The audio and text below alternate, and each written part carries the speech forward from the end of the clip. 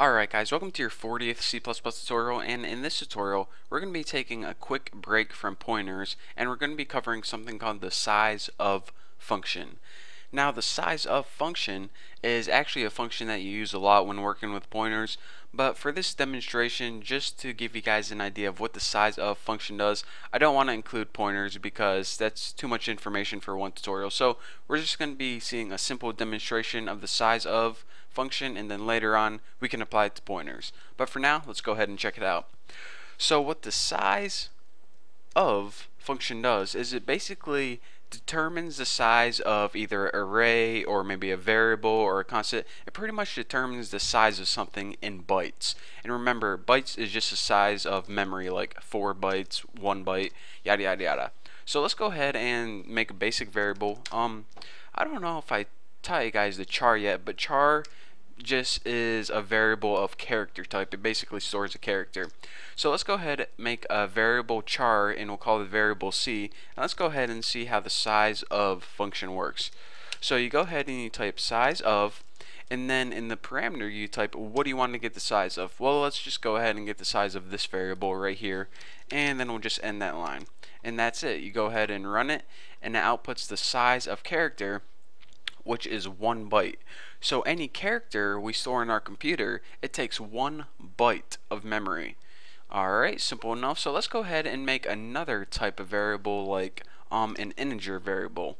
So how many bytes do integers take up on our computer? Well, if you don't get the same number as me, don't worry, but because every computer is a little bit different. On my computer, an integer takes up 4 bytes of memory.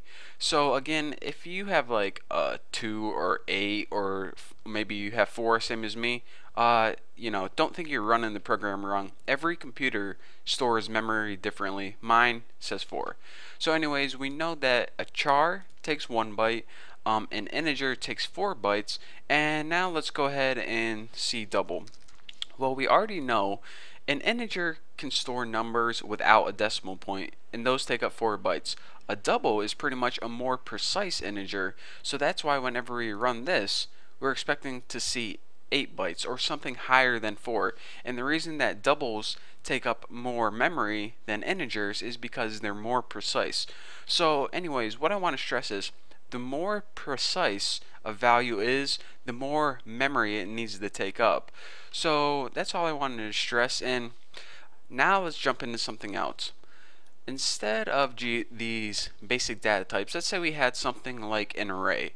Now you know an array is basically like 10 integers strung together or you know maybe 15 doubles strung together so let's go ahead and make a double array and we'll call it Bucky and it can store 10 doubles now remember a double took up 8 bytes on my computer so we have an array of Bucky and it has 10 doubles we're expecting to see 10 times 8 bytes. So this entire array should take up 80 bytes of memory. So let's go ahead and see if our prediction is right size of Bucky, you go ahead and just write the name of the array in there and then go ahead and end line, not ned line, end line, there we go.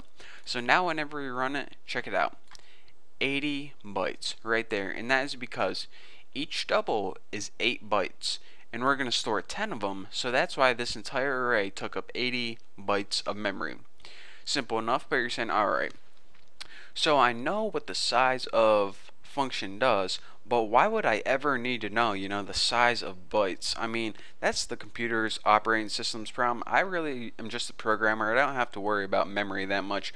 Well, one um, useful way you can use this function right now, before I, you know, jump into pointers and all that stuff, is maybe you want to find out how many elements are in an array. So, you know, maybe you had the user make an array or something and you don't know how many elements it had and you needed to know how many elements this array had in order to make a calculation. Well, of course, we know that this array has 10 elements, but say we were trying to figure it out anyways. Something you can do is this. See out.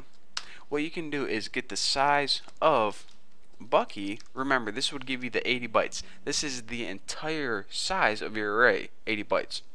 And what you do is divide it by the size of one element. And to do that, just go ahead and write size of Bucky 0, which is the first element. and then whenever you print it out in line you should get 10 so let's go ahead here's the 80 before and now we get 10 which means 10 elements in our array. And again why did this happen? What we did is we took the entire size of our array Bucky which was 80 bytes and we divided it by one element size which was 8 so 80 bytes divided by 8 bytes gives us 10 elements.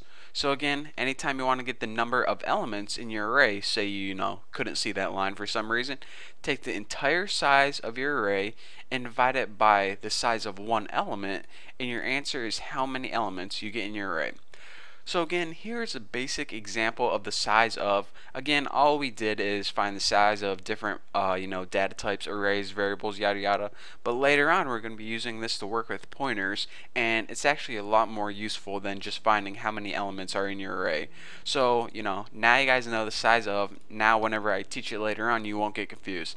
So for now, thank you guys for watching. Uh, don't forget to subscribe, and I will see you in the next video.